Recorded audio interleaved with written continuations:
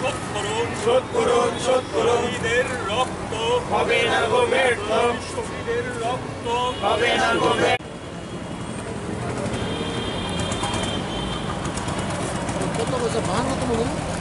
তোমায় আমরা বলছি না বলব না। কাজল করব অমর রহে। আমার রহে আমার রহে।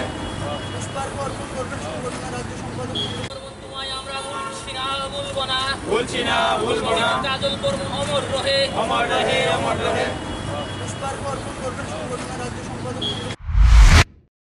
উনিশশো ছেষট্টি সালে ত্রিপুরা রাজ্যে খাদ্যের সংকট শুরু হয়। রাজ্যের বিভিন্ন প্রান্তে গণমানুষের আন্দোলন সংগ্রাম তীব্রতর হতে শুরু করে। সেই সংগ্রাম যখন বিভিন্ন মহকুমায় ছড়িয়ে পড়ছিল, সেই সময় উনিশশো সত্তর সালে সোনামুড়া মহকুমার মেলাঘরে বেকার সমিতির নামে ছাত্র যুবদের একটি মিছিল, কাজ ও খাদ্যের দাবিতে মেলাঘর ব্লকে তাদের দাবি জানাতে গিয়েছিল।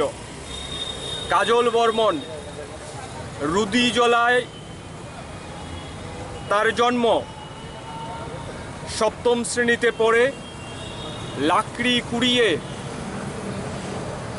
নিজের খাবারের সংস্থান করেন। সেই কাজল বর্মন তার দারিদ্রতার মধ্যেও স্কুলে পড়াশোনার সঙ্গে যুক্ত ছিলেন। বিশে আগস্ট মেলাঘরে কাজ ও খাদ্যের দাবিতে যে মিছিল সে মিছিলের প্রতি আন্তরিকতা এবং নিজের দাবির প্রতি লড়াইয়ের ময়দানে নামার স্পৃহা থেকেই কাজল বর্মন সে মিছিলে সামিল হয়েছিলেন এবং এক পেট ক্ষুধা নিয়ে মিছিলে হাঁটতে হাঁটতে যখন তৎকালীন কংগ্রেস শাসকের কাছে দাবি জানাতে যাচ্ছিলেন, তখন পুলিশ নির্মমভাবে তার পেটে তপ্ত বুলেটের আঘাত করে এবং কাজল বর্মন মাটিতে লুটিয়ে পড়ে শহীদের মৃত্যুবরণ করেন। সেই সময় কাজল বর্মনের দেহকে ছিনিয়ে নিয়ে যেতে প্রশাসনের তরফে চেষ্টা হয়েছিল। কিন্তু তার সাথীরা, তার কমরেডরা সেদিন কাজল বর্মনের দেহকে রাষ্ট্রীয় যন্ত্রের, যারা শাসক তাদের হাতে ছিনিয়ে নিয়ে যেতে দেননি।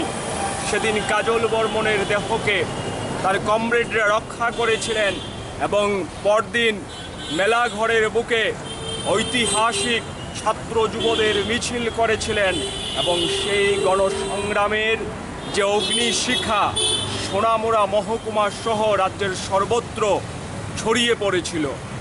আজকে একান্ন বছর আমরা পার করে এসেছি।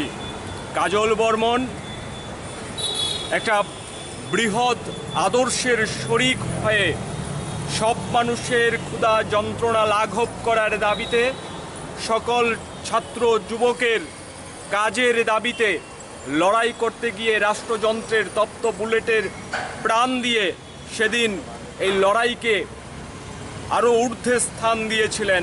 আর আজকের দিনে ভারতবর্ষের ত্রিপুরা রাজ্যে বেকারির দিক দিয়ে আমরা সর্বোচ্চ জায়গায় গিয়ে পৌঁছেছি। পঁয়তাল্লিশ বছরের ইতিহাসে রেকর্ড পরিমাণে বেকার। আজকে যারা ছাত্র, স্কুলে, কলেজ, ইউনিভার্সিটিতে পড়াশোনা করে, তারা আগামী দিনে তাদের পড়াশোনা শেষ করার পর তাদের কাজের সংস্থান হবে কি না সেই নিয়ে বেশি সময় ব্যয় করতে হচ্ছে। এইরকম অরাজক পরিস্থিতি আমাদের রাজ্যের মধ্যে কাজ নাই, খাদ্য নাই আমাদের রাজ্যের মানুষের পিঠ দেওয়ালে গিয়ে ঠেকেছে। উপরই হচ্ছে গণতন্ত্রের, এখানে কফিনের পেরেক পোতা হয়েছে। মানুষ কথা বলতে পারছে না, মানুষ মিছিল করতে পারছে না। মানুষের সমস্ত ধরনের সংবিধান প্রদত্ত যে অধিকারগুলি, তা কেড়ে নেওয়া হয়েছে। রাষ্ট্রীয় শক্তির মদতে এ রাজ্যের শাসক গোষ্ঠী তা হরণ করেছে। এই পরিস্থিতির মধ্যে দাঁড়িয়ে কাজল বর্মনকে আজকে আমরা বাহান্নতম শহীদান দিবসে যখন এখানে স্মরণ করার জন্য সমবেত হয়েছি, আমাদের কাছে কাজল বর্মনের শহীদান দিবসে মূল শপথ হচ্ছে, রাজ্যের এই গণতন্ত্র পুনরুদ্ধার করতে হবে। রাজ্যের মধ্যে, দেশের মধ্যে কাজ, খাদ্যের আজকে যে বৃহত্তর একটা সংকট তৈরি হচ্ছে, আগামী দিনে যারা তরুণ হবে, ছাত্র, যুবক এবং আজকের যারা ছাত্র যুবক তাদের ভবিষ্যৎ যখন অন্ধকারের কানা গলিতে ধাবিত হচ্ছে এই ছাত্র যুব সমাজকে সংগঠিত করে আগামী দিনে লড়াইয়ের রাজপথে প্রত্যেকটা হিসেব ইঞ্চিতে ইঞ্চিতে বুঝে নেওয়ার দায়বদ্ধতা আমাদের কাজল বর্মনের শহীদান দিবসে আমাদের শিখতে হবে, আমাদের সেই শপথ গ্রহণ করতে হবে। তার জন্যেই আমরা এখানে মিলিত হয়েছি। এই অনুষ্ঠান থেকে আমরা কাজল বর্মনকে লড়াইয়ের ময়দানেই আমরা শ্রদ্ধা জানাবার শপথ গ্রহণ করতে চাইছি। ওয়েলকাম টু টাম্বল ড্রাই বিশ্বমানের লন্ড্রি ও ড্রাই ক্লিনিং এখন আমাদের আগরতলায়। আমাদের অনলাইন অ্যাপের মাধ্যমে অথবা কল সেন্টারে ফোন করে আপনি কাপড় সংগ্রহ করার জন্য পছন্দ মতো সময় নির্ধারণ করতে পারেন। তারপর আমাদের রানার কর্মী আপনাদের বাড়ি থেকে অতিমারির সব রকম বিধিনিষেধ মেনে এবং সম্পূর্ণ হাইজেনিকভাবে আপনার সার্ভিসের চাহিদা অনুযায়ী কেজিতে অথবা পিসে কাপড় সংগ্রহ করবে। কাপড় লন্ড্রিতে পৌঁছে যাওয়ার পর আমাদের সুদক্ষ কর্মী দ্বারা পর্যায়ক্রমে কাপড় ট্র্যাকিং স্পট ক্লিনিং তারপর উন্নত মানের স্বয়ংক্রিয় মেশিন দ্বারা অত্যন্ত যত্নের সহিত কাপড় ধোয়া হয়।